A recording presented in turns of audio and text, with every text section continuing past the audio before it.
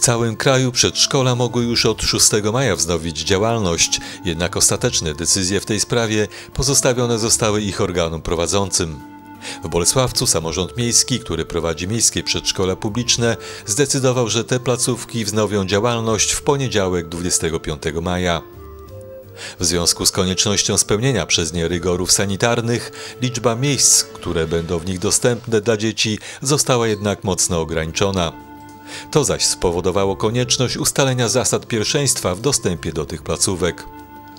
Zgodnie z sanitarnymi i rządowymi wytycznymi, pierwszeństwo w zakresie zapewnienia opieki będą więc miały dzieci pracowników systemu ochrony zdrowia, służb mundurowych, pracowników handlu i przedsiębiorstw produkcyjnych realizujący zadania związane z zapobieganiem, przeciwdziałaniem i zwalczaniem COVID-19 oraz dzieci, których rodzice nie mają możliwości pogodzenia pracy z opieką w domu.